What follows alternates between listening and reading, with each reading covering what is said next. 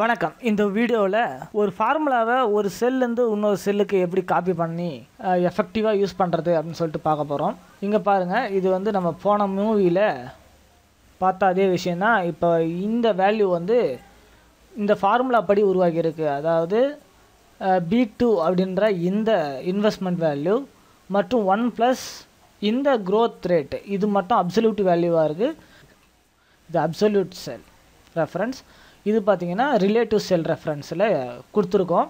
So இதை வச்சு இப்போ நம்ம வந்து எப்படி ஃபார்முலாவை காப்பி பண்ணி எஃபெக்டிவாக யூஸ் பண்ணுறது அப்படின்னு சொல்லிட்டு பார்க்கலாம் இப்போ ஃபஸ்ட்டு நான் என்ன பண்ண போகிறேன் இந்த ஃபார்முலாவை இங்கே அப்ளை பண்ணுன்றதுக்காக இங்கே கிளிக் பண்ணி கண்ட்ரோல் சி கொடுக்குறேன்.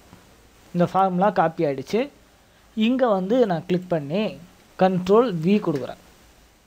பாருங்கள் இந்த ஃபார்முலா பேஸ்ட் ஆகிடுச்சு பேஸ்ட் ஆகிட்டு இங்கே பாருங்கள் ரிலேட்டிவ் செல் ரெஃபரன்ஸ் மட்டும் மாறி இருக்குது பி டூன்றது பி த்ரீயாக மாறி இருக்குது ஆனால் அப்சுலூட் செல் ரெஃபரன்ஸு எந்த சேஞ்சஸுமே இல்லை.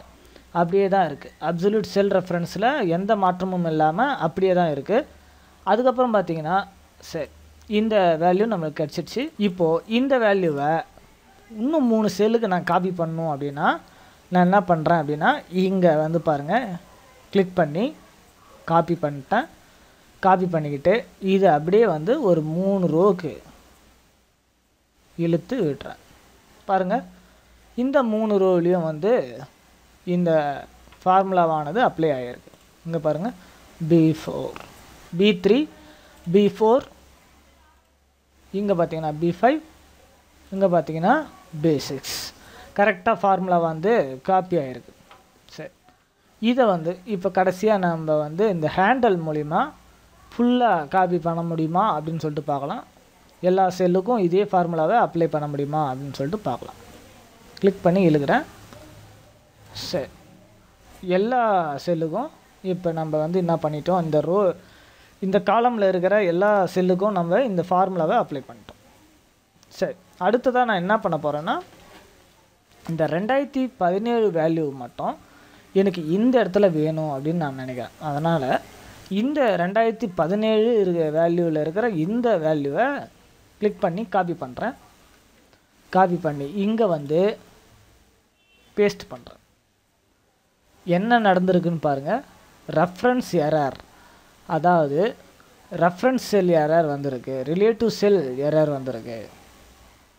இங்கேனா அப்சல்யூட் வேல்யூ வந்து இதே தான் வரப்போகுது. ஆனால் இங்கே ரிலேட்டிவ் செல் ரெஃபரன்ஸ் வந்து ரிலேட்டிவ் செல் ரெஃபரன்ஸ் மாறிடுச்சு அதனால் இது இந்த இடத்துல இல்லாதனால இந்த எரர் வந்து நம்மளுக்கு கிடச்சிருக்கு. சரி. இப்போ எப்படி இந்த ஃபார்முலாவை காப்பி பண்ணுறதுன்னு பார்க்கலாம். இங்கே டெலிட் பண்ணிக்கிறேன். இங்கே வந்து மீண்டும் கிளிக் பண்ணுறேன் கிளிக் பண்ண பிறகு பார்த்தீங்கன்னா உங்களுக்கு ஃபார்முலா பாரில் உங்களுக்கு இந்த ஃபார்முலாவானது வந்திருக்கும். இப்போ இங்கே கிளிக் பண்ணி நான் இதை காப்பி பண்ணிக்கிறேன்.